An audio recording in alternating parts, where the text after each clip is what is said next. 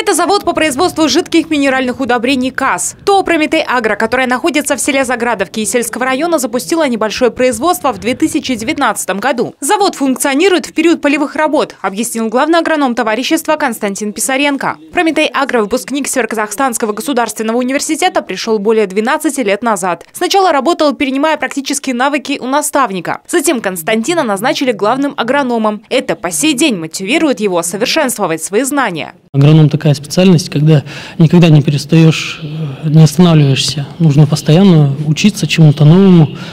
Э, технологии идут вперед, и чтобы за ними успевать, нужно постоянно повышать свои навыки. Особенно интересно посещать хозяйства более ну, как бы развитые в техническом плане. С современной техникой, с применением современных там, средств защиты растений, с применением технологий современных, уже совершенных.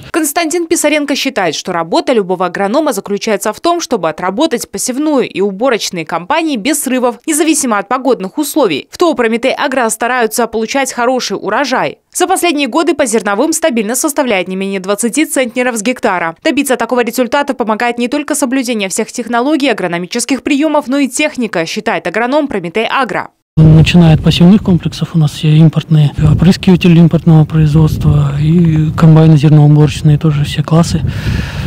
Что способствует уборке урожая без потерь. И, конечно, техника импортная, она работает безотказно, можно сказать.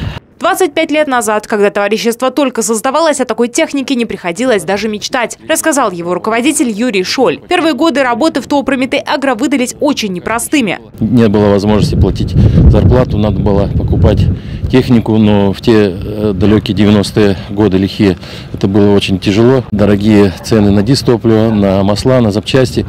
Это все сказывалось на состоянии хозяйства, но тем не менее сумели выстоять.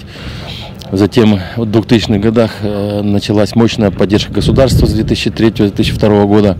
Это все мы почувствовали и ощущаем до сих пор. Чувствуют в товариществе и потребность в том, чтобы помогать сельчанам. За последние четыре года в ТО «Прометей Агро» построили 13 домов для своих работников. В 2022-м новоселье должны отметить 8 семей. А еще с помощью товарищества построили в Заградовке крытый хоккейный корт, кафе. Коллектив «Прометей Агро» помогал разработать проектно-сметную документацию для ремонтных работ в местной школе. Дарья Пашмынцева, Александр Янсен, МТРК.